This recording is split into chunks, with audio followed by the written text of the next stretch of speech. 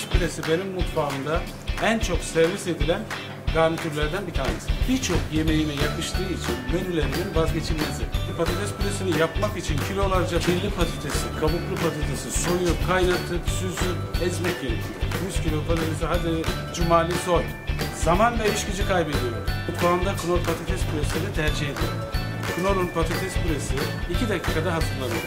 Süt kullanmam gerekmiyor. Lezzetli bir patates püresi elde ediyorum. Çok hafif dokunuşlarla ana yemek gibi sunabiliriz.